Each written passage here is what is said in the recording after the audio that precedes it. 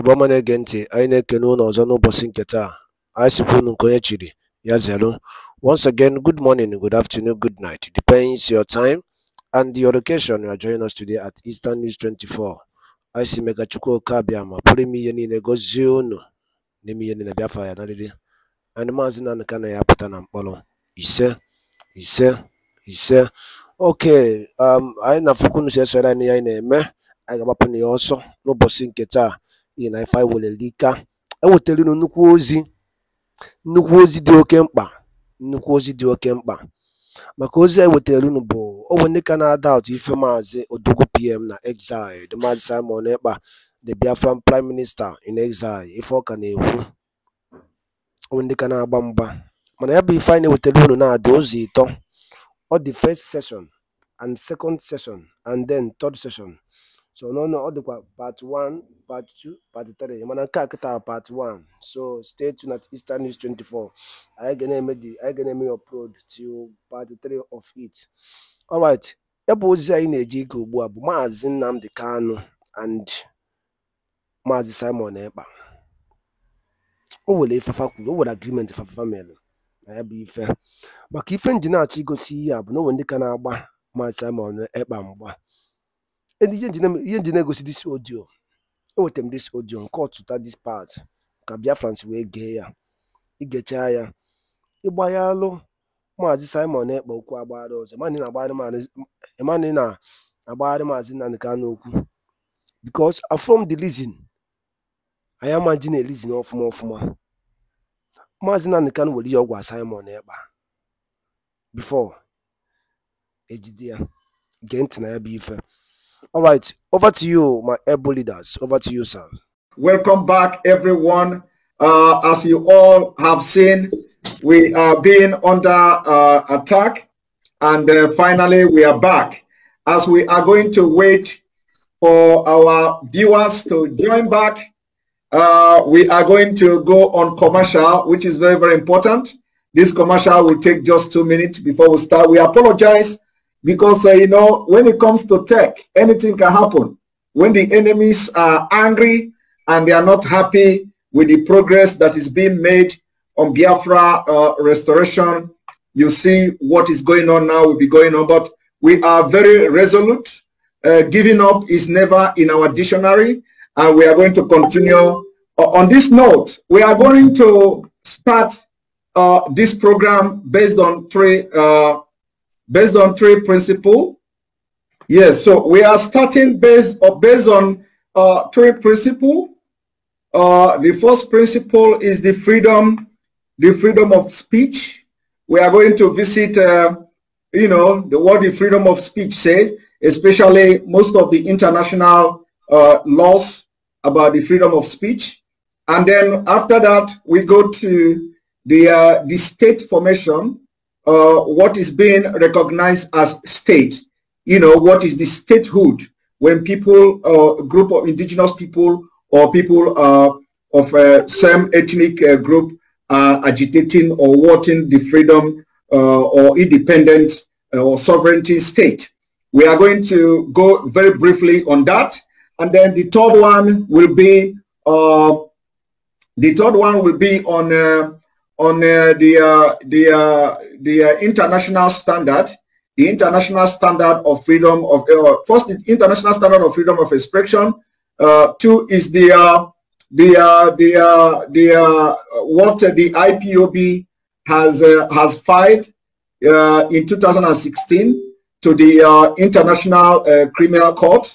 This communication was done in 2016 by uh, Professor uh, Goran Slaughter and Andrew uh, Lunazi. you, of course, you, you are very, very conversant with that. And then after that, we start the program. Why are we doing this? Why are we doing this? Why do we have to make references to these three issues I've mentioned here? Is because a lot of people will say that, okay, what you have to do it this way, you have to do it that way, wait for international community to intervene and all that. But we want to tell them this evening that all these things they are saying, uh, IPOB under your leadership has done even more than expected. And there is nothing to show for it anywhere today. You have written to International Criminal Court. You have hired some of the best uh, uh, lobbyists all over the world. You have done all this, and today we are going to show it to the public for the very first time the application filed to the ICC yes. in 2016. I know you'll be very surprised that I'm talking. Are you hearing me? Loud and clear, Simon. I yeah. am hearing you. Please so I'm going. I'm going to. I'm going to pull the application uh, IPOB under your leadership filed to the International Criminal Court in 2016. Yes. Uh, we are only going to read because it is about 93 pages. Mm -hmm. So when people when people are talking, when people are talking, they are saying something they know nothing about. They don't know how far you have gone with the IPOB especially to get justice for what the Nigerian government has done to our people.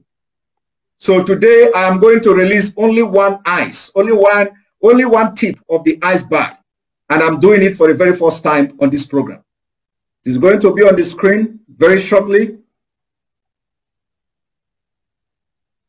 Because uh, this program is going to be completely different than what uh, you know, normal, what we have been doing all this while is going to be completely different. And then also, if the attack is too much that uh, they couldn't allow us to do something or, you know, do it the way I wanted to do it, then what we have to do is that we may have to reschedule and I will set up a Zoom because I'll be getting a lot of messages from different media as I'm talking to you right now. I'll be getting a lot of messages from different media, from different media houses and they are telling me what to do. They are telling me to do this and do that. So, so if this doesn't work out, we have to now. We can have a discussion and then we can present the evidence afterwards. We can yes. have a discussion today and then the evidence will be presented later. Exactly, exactly, exactly. But I do thank um, the viewers and listeners for their patience. They've been patiently waiting, and I can see that the numbers are back up again to where it was before we were rudely interrupted. Uh, but we must proceed. We must, we must proceed. Yes. So uh, before uh, before we go uh, forward, could you could you tell our viewers uh, a little bit about this application I've just uh, I've just mentioned to you filed in 2016? In 2016, our lawyers, should I say our attorneys in Europe, approached the ICC to make or to present a very compelling case about the human rights abuses being perpetrated by the Nigerian government against the people of Biafra. As you well know, Gordon did a very wonderful work. That was in 2016. Also in 2017, additional work was done by our lawyers here in the United States of America. In 2018, additional work was done by our lawyers back home. In 2019, we hired one of the top human rights lawyers in the world to litigate this very matter before the ICC against the Nigerian government. In that same 2019, and as you said, for the, I believe for the very first time, I'm providing clarity on this very matter. I went to the ICC myself. I went to ICC myself. I was deposed. I told them exactly what was happening. They said we shouldn't discuss it when we go outside, and we've been waiting since 2019. We're in 2021. And instead of doing something about the, should I say, the very relentless pursuit of the African people. The Nigerian government has been emboldened, the zoo has been emboldened into killing our people, not just killing us. We have now arrived at a situation where our women are being abducted and raped in the north because ICC failed to do something for how many years now? 2016, 2017, 2018, 2019. We hired people in the Hague on a permanent basis, paying them tons of money to be collecting all this evidence against the Nigerian government for the sole purpose of bringing this matter before the ICC, at least for them to investigate. But due to the overwhelming political pressure on them, they have not been able to do anything about it. The only reason why they issued some kind of um, statement a few weeks ago, or should I say a couple of months ago, was because of the EndSARS protest. If not, they would have mentioned it. I am in the United States of America, where we've hired a very top lobbying firm at Washington, D.C. at huge expense, I must tell you. You also know about the submissions we made to United Nations. Angela Callamard's report, everyone has read it. We went there, IPOB, she mentioned IPOB and Biafra. You can see that report on human rights abuses in the zoo. I have been to Geneva. I sat down with United Nations officials in Geneva. I have been to the EU. Most of them have been to the House of Lords to make a presentation before Baroness Cox. I have been to Capitol Hill here in the United States of America in Washington to present our case. So where else do you want us to, case, to take our cases to before something is done about it? These are the things that people don't understand. Most of the contracts, most of the work we are doing, you cannot see them. You cannot write about them or talk about them. If not for this very program, I won't be discussing this. But it's about time our people realize that we are doing all we can to present all this catalog of abuse and degradation before the conscience of the international community. But unfortunately, Britain is working for Nigeria. There is uh, what I call a climate of neocolonialism still prevalent in Nigeria, and they still see Nigeria as a contraption they created. They still see Nigeria as a place they can come to Biafra and take our oil and gas without paying for it. Therefore, anything that can sustain the false unity of Nigeria is what they are going to encourage. They see Biafra agitation as an antithesis to that very plan which they have, which is to keep this contra contraption together for them to have unfettered and unrestricted access to our resources. And that is what has been happening. But unfortunately, our people are not um, um, intelligent enough to understand.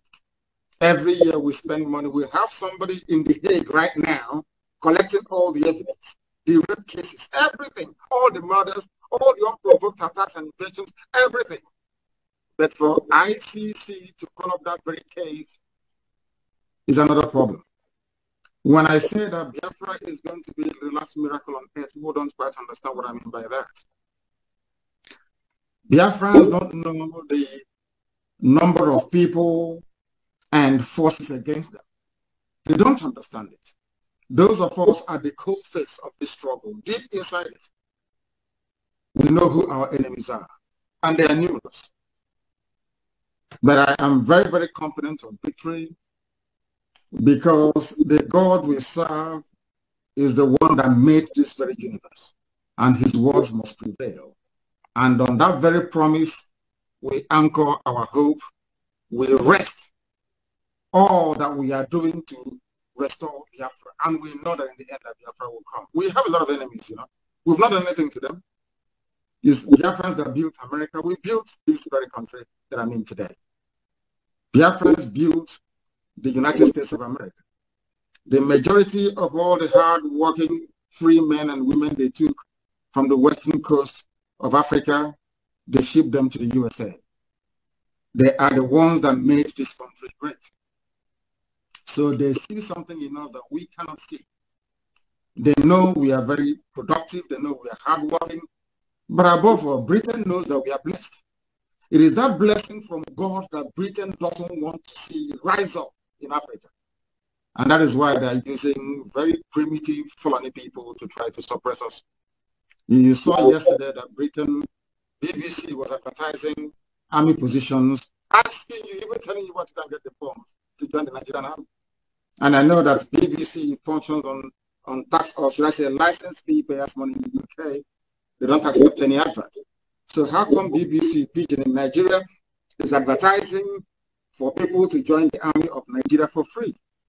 Because they are, of course, agents of neocolonialism. They are working for Britain. They want Nigerian army ranks to swell up so they can suppress any measure of uprising against the very decaying, crumbling, damnable zoological, so should I say zoological republic. What our people need to realize is this. What we go through on a daily basis to ensure that our cases are heard all over the world is immense, everywhere, especially here in the USA. But if the world continues to turn a blind eye and they continue to kill, to rape, to murder, to slaughter people, to take our land, they expect us to put our hands and do nothing? The answer is no, of course. We must fight because we have our backs now against the wall, and that's what we're doing. Thank you very much. Thank you very much, uh, Ohamadike, one of Biafra. Uh, another thing I want to, you know, this is just an introduction to what we are going to discuss this evening. Another thing I want to ask you is that, you know, there is a man called Peter uh, Smithers.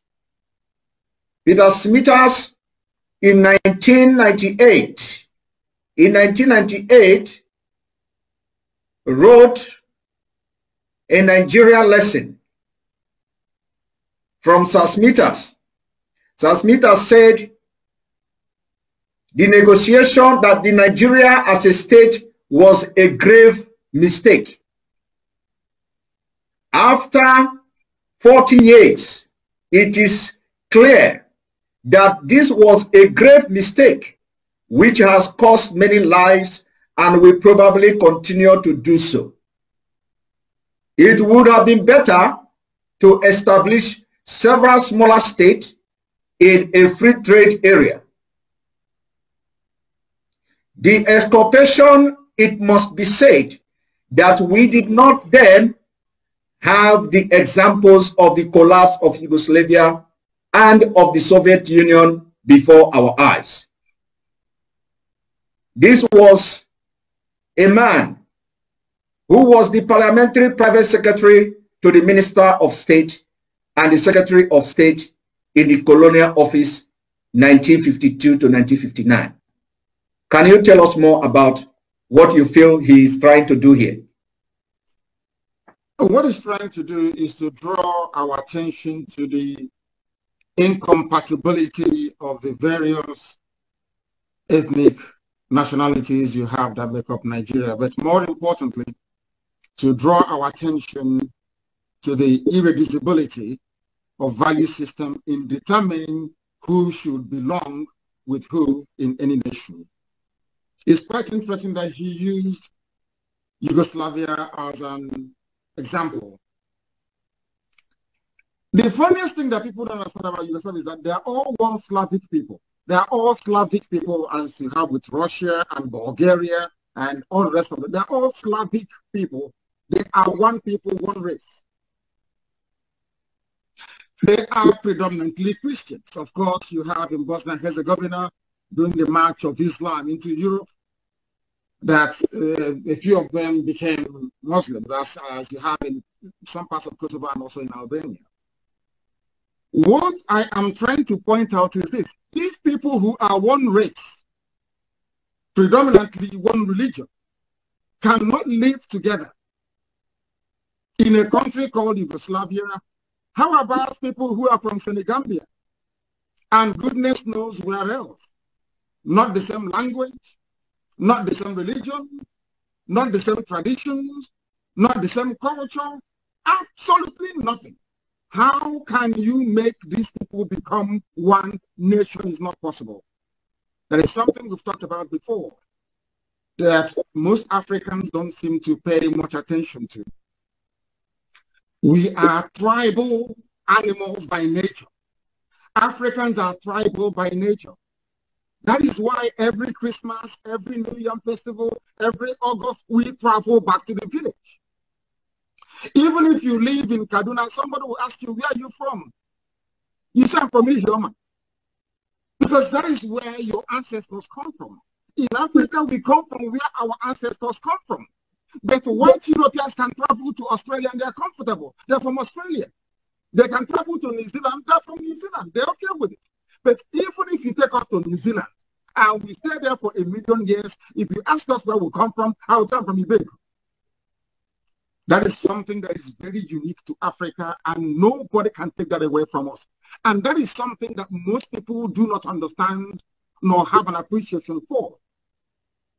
That is why in Africa, everywhere you go to, be it in Kenya, in Ethiopia, in South Africa, everywhere, people still talk about tribe till tomorrow morning because we are different. So rather than trying to experiment uh, uh with us, this sort of very colonial, artificial construct, because mind you, all states in Africa, sub-Saharan Africa, are all racist constructs. Those that developed or created Nigeria, that created Togo, that created Ghana, they had racism in mind, not your interest. And this is what we've been trying to explain to African people. If not, why would we go to Lagos during a revolution, should I say a mini revolution, a protest? And people of Lagos, the people are saying, oh, that Igbos came here to destroy their buildings. But you have all one Nigeria, you claim.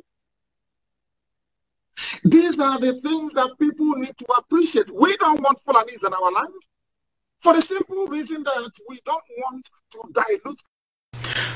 Attention, attention. IPOB One Family. This now. Can you hear me? Sorry about that. Something just... It's okay. What I'm trying to point out, Simon, is this. Forget about all the one Africa. I'm a, I'm a, I'm a pan-Africanist. But we need to start organically. We need to go back to where we come from and begin to build a consensus from the grassroots. When should Biafra want to join Oduduwa in forming a nation, we look at all the pros and cons and then reconcile all these things and then we move together as one. Look at Britain that gave Nigeria so that colonized and still owns Nigeria till tomorrow morning. Scotland wants to be on their own. Wales will be on their own very soon. Northern Ireland will need to be on their own. That is human nature. You cannot take it away from us. The only reason why they have Nigeria together the way it is, and why we have been complaining, and why authors and great commentators like the man you alluded to has not gotten any traction in terms of people being able to understand and appreciate what he's saying is because of the way we reason. I say this all the time.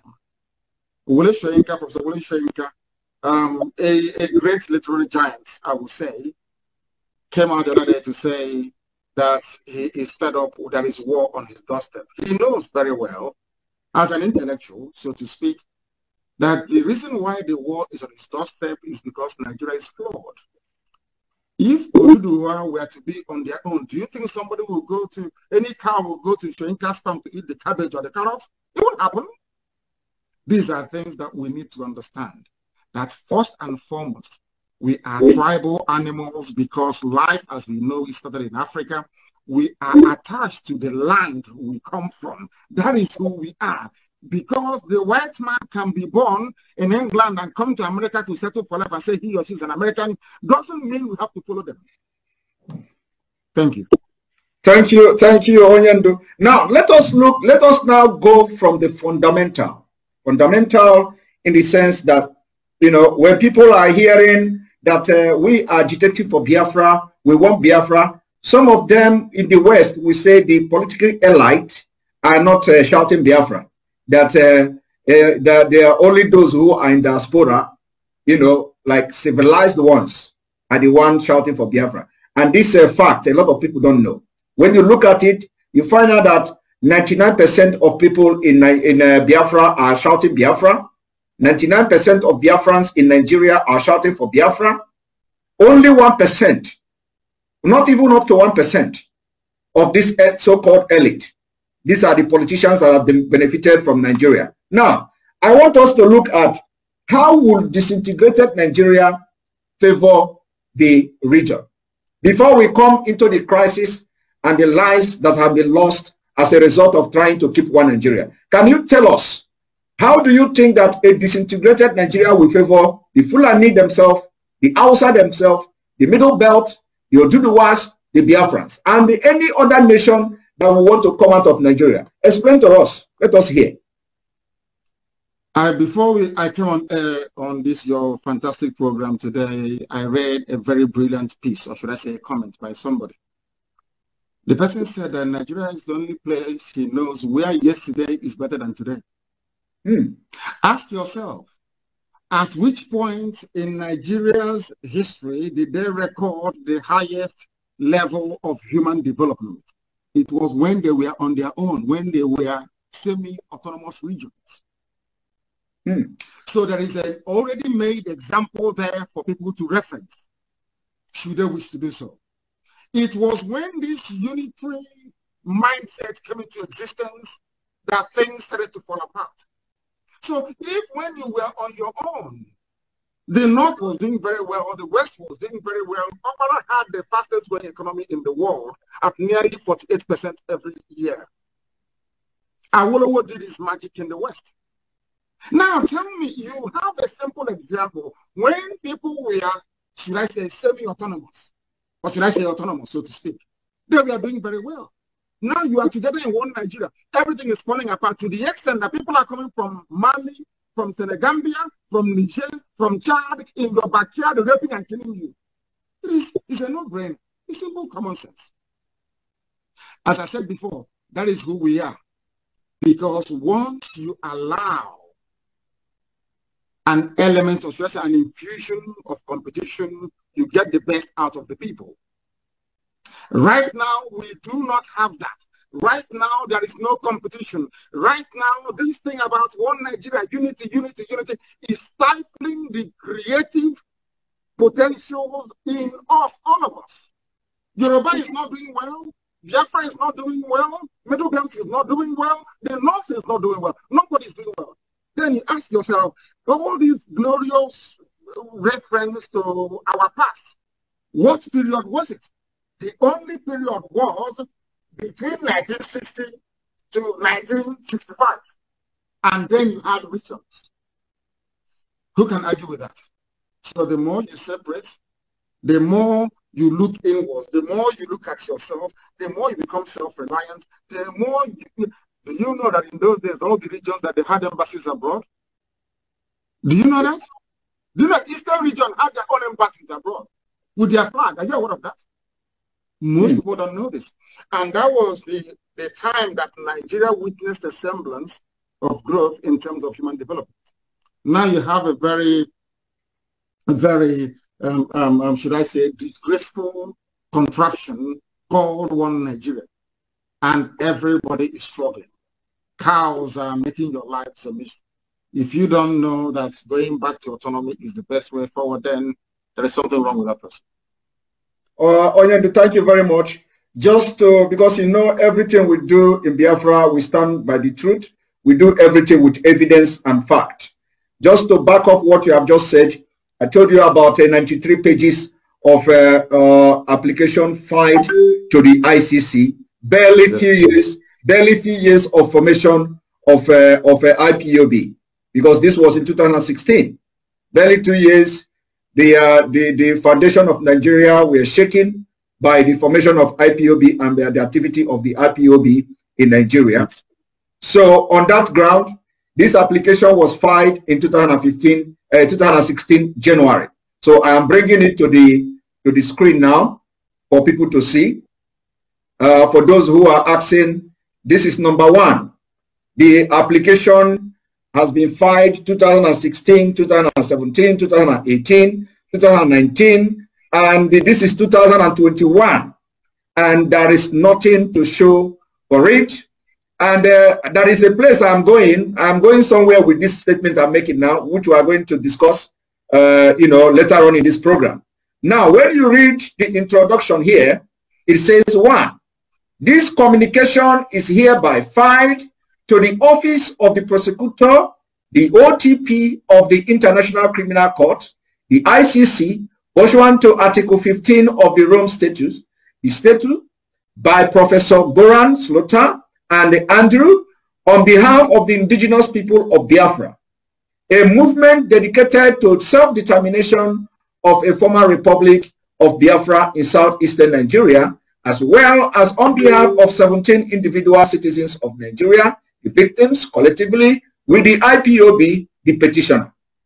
Two, the petitioner submit that based on the information set out herein, there is reason to believe that crimes against humanity within the jurisdiction of the ICC, in particular, murder, unlawful imprisonment, torture, enforcements, disappearance, other inhuman acts, and persecution have been committed in the context of politically and ethnically motivated state violence against primarily IPOB members and the uh, Igbo people of southeastern Nigeria. Due to the absence of, the, of domestic criminal proceedings, with respect to those potentially bearing the greatest responsibility for these crimes, in particular, but not limited to Nigeria current President Muhammad Buhari, and that was then, and in the light of the gravity of the act committed. Now, this is 93 pages, 93 good pages. The list can go on and go on. Factual evidences, citations, references, up to 93 good pages. And of course, like you said in the beginning, that you do not want to discuss this thing because a lot have been done and the people are not aware of it. So just to, you know, to, you know, let the public understand, you know, what, uh, what the IPOB have done uh, all this while when people go on social media to say uh, IPOB under leadership of Mazi Nnamdi Kanu is uh, doing this or they are not doing that. You know, so this is just one evidence of it that as far back as 2016, you have started taking actions which are necessary, lawful and legal actions against the Nigeria terrorist state. But up to now, nothing is happening. But I'm still going to come back to why I am showing this thing because the actions of today is as a result of the failure of the international community to heed to the call of the Biafra people, of which you have done honorably well in that aspect. So this is just a side uh, comment on what you have said before. Now, going to what you just said about how Nigeria, how it will benefit the other region and the uh, the uh, the component that makes up Nigeria, how it will benefit them when Nigeria is disintegrated. And you made mention of the what you read that uh, Nigeria of yesterday, that yesterday is better than today. That is very awkward, awkward uh, fact. You know, very very awkward fact that every president that comes to Nigeria, the last one will always be better than the new one. It has been, it's not only in the economic sector and all that. But the second question or the third question I want to ask you is this. Now, looking at what is happening now, a lot of people don't understand what is going on in Nigeria. A lot of people still believe in the, uh, of course, they still believe somehow in Nigeria you know, they believe that the structure, the political structure of Nigeria is the major problem. And we, people following you, have a different view and a different opinion to this. And I think this is where the interest is clashing.